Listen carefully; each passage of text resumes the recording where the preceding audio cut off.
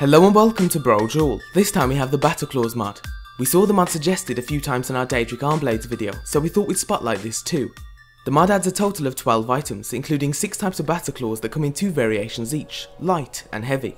You can craft them at any forge and also upgrade them, but you can't enchant them, and I'll explain why in just a second.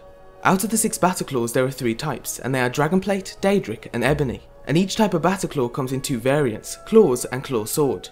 The Claw variant has 3 blades on each hand, similar to Wolverine, and the Claw Sword variant has a single blade in one hand and a claw in the other.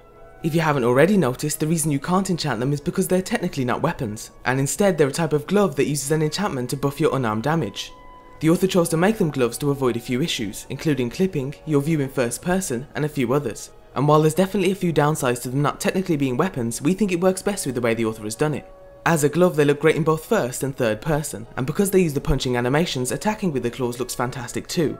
The damage they deal and balancing is an issue, but to combat the problem the author offers 4 damage versions, low, normal, high and very high.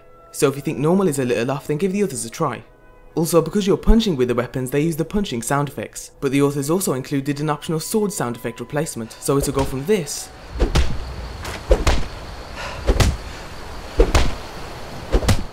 to this.